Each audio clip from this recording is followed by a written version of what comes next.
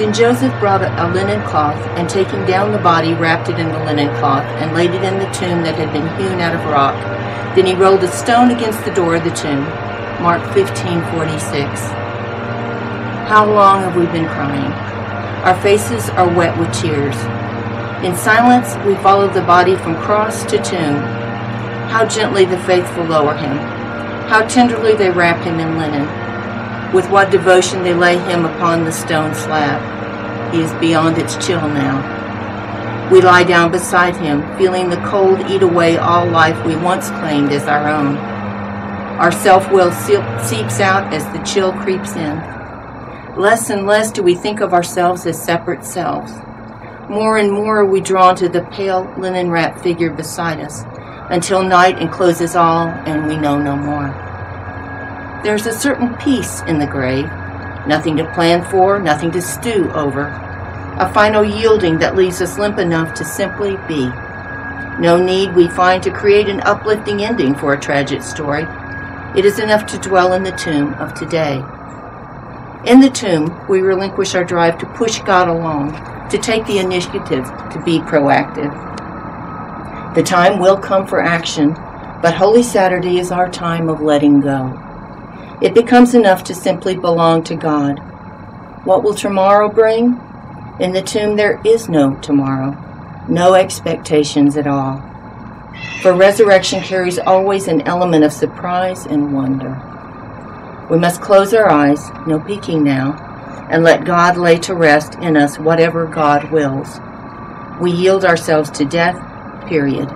No expectations, no holding out and leave the resurrection business to God. Night falls on Saturday, and on our quiet form, we breathe our last and lie in holy death. We invite you now to enjoy our silent prayer centers. You can uh, pause the video whenever you choose so you can participate in the ones that appeal to you.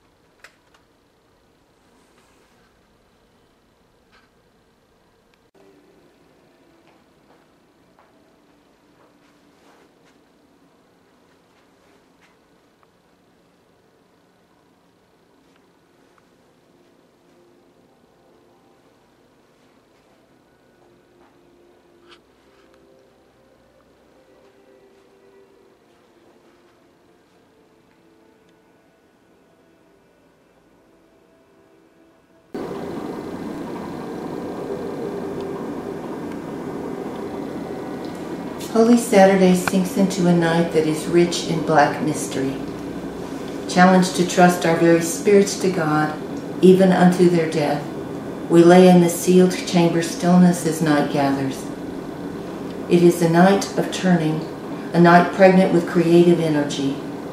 Around us and within our inert bodies, transforming powers surge, preparing a miracle, awaiting with breath held for the Creator's word, counting each second till dawn. What a night is the one that falls on Holy Saturday and yields to the Easter sun. For God is not reanimating our battered old souls, making us some kind of newer, better Frankenstein. No. God is transforming our every particle, making us into creatures we have never been before. And so God wakens us to the piercing light of Easter, beings as new as the dawn. All about us, all within us pulses afresh with new life. We weep at the wonder of it.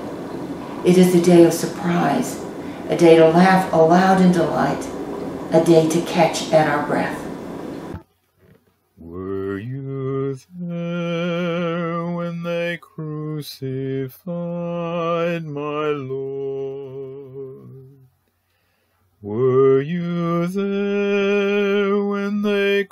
crucified my Lord?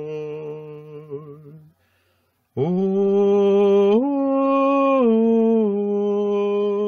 sometimes it causes me to tremble, tremble, tremble. Were you there Crucified my Lord.